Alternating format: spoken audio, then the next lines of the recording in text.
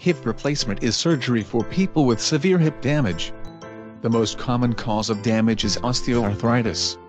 Osteoarthritis causes pain, swelling, and reduced motion in your joints. It can interfere with your daily activities, if other treatments such as physical therapy, pain medicines, and exercise haven't helped, hip replacement surgery might be an option for you.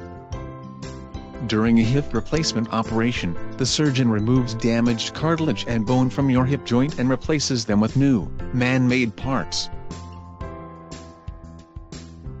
A hip replacement can relieve pain, help your hip joint work better, improve walking and other movements. The most common problem after surgery is hip dislocation. Because a man-made hip is smaller than the original joint, the ball can come out of its socket. The surgery can also cause blood clots and infections.